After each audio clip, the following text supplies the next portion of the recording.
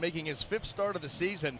And it's been a tremendous start. 3 0 record, 2.63 earned run average. And he chases it. And is tagged by Conger.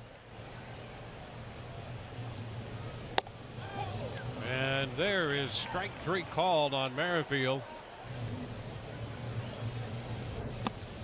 Dyson out on strikes. He did go. And it's popped up right side. Pearce out from second base. So it's a one, two, three inning. Ground ball short. Motter. Pearce, that's one. And over to first, that's two. Six, four, three. The chopper by the mound. Motter gloves and throws. Morales out of there. 3 2 lifted into left, and Guyer to his right toward the line makes the catch.